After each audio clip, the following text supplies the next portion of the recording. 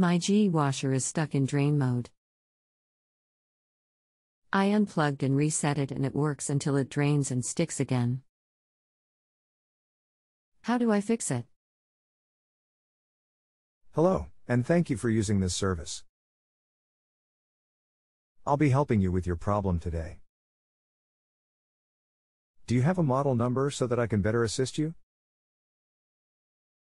GLWN 5050M0WS.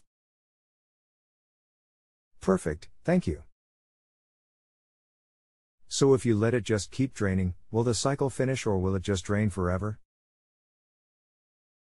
Drain forever. Okay, then the only thing that can cause this problem is the control board itself if the logic in the board is corrupted.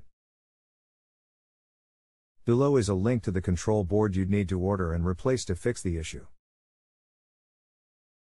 Click here for control board.